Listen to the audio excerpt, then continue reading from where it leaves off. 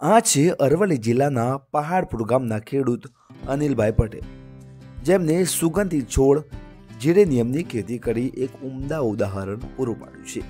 આ ખેતીનો મુખ્ય ઉપયોગ અત્તર તથા સ્પ્રે બનાવવામાં થાય છે. જીરેનિયમની ખેતી મોટાભાગે મહારાષ્ટ્ર, તમિલનાડુ તેમજ વિદેશમાં થાય છે. પરંતુ અરવલ્લીના ખેડૂતે ગુજરાતમાં ખેતી કરી એક નવો ચીલો પાડ્યો છે. આમ તો સામાન્ય રીતે ખેડૂતો કપાસ દિવેલાની ખેતી કરે છે. પરંતુ અનિલભાઈએ આ નવી ખેતી કરી એક નવો ચીલો પાડ્યો છે. આ અંગે ખેડૂત અનિલભાઈ પટેલે જણાવ્યું કે તેઓ સતત એક નર્સરીમાં મુલાકાત લેતા હતા અને પૂનામાં નર્સરીની મુલાકાત લેતા તેમને જીરેનિયમ છોડ વિશે માહિતી મળી અને તેને અરવલ્લીમાં ઉગાડવાની પ્રેરણા મળી.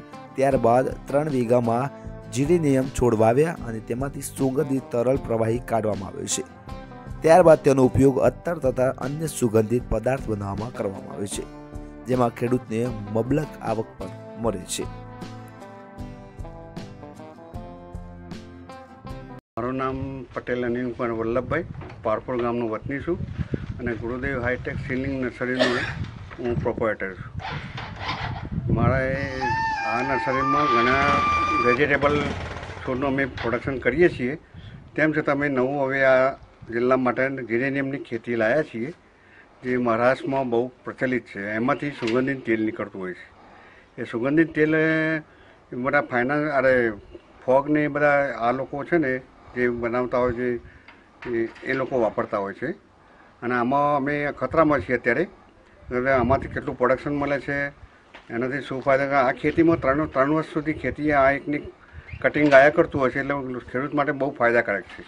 પણ અમારી પ્રોસેસમાં છે અત્યારે કે અમે એમાંથી શું મેળવી શકીએ છીએ, પછી અમે સાચી માહિતી આપી શકીએ.